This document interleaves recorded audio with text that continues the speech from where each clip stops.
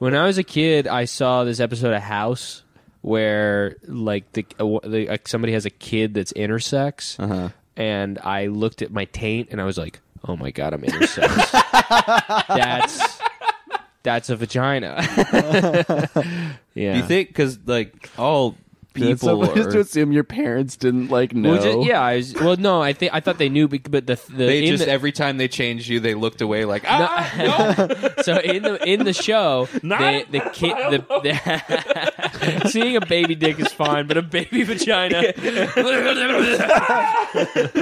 uh, no, but I, I in the show, the kid is like 13 or whatever, and he's having some health issues, and they they reveal that it's he's intersex, but they chose to make him male by sewing Yeah, up the yeah. vagina.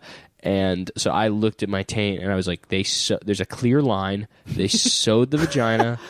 Um, my and my balls were like it. Look, I mean, it's like the like a Neapolitan ice cream gradient, and it's my dick, my balls, and my pussy.